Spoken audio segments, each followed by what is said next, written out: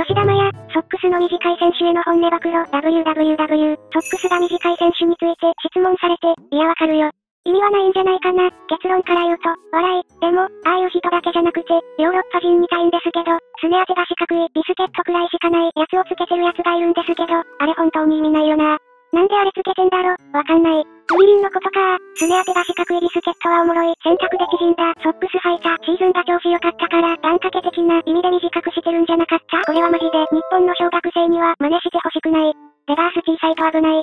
でも、グリーリッシュは、怪我しないじゃんとってとルイ・コスタも、ソックス短かったけど、レガースはめっちゃでかかった。ネイマールとかさんは逆に膝まで、ソックス上げててかっこいいグリーリッシュは、太もも太いから、長いソックス苦手なんじゃないあと夏なのに、長袖着てる、自称ファンタジスタも意味わからん。